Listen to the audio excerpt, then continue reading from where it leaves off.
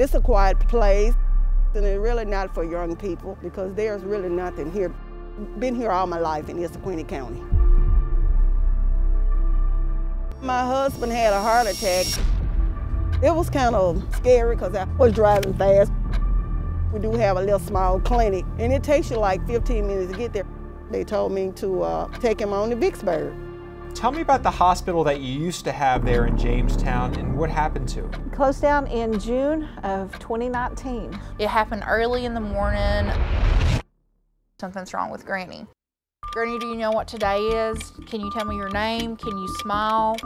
She was just kind of slouched over. I just knew this, this could be the last time I see my grandmother alive. This could be it. What is it like being a doctor here? Most days I go home and I feel like I've done some good for someone. And I started hurting so bad. I didn't know what was wrong. Is there a doctor shortage? I just feel that there is always a need. We also find that there are very many strengths in our region, and that story often isn't told. If you want to have a strong country, you have to have a healthy country. And how many other towns in our nation are like us? How many other people have been forgotten?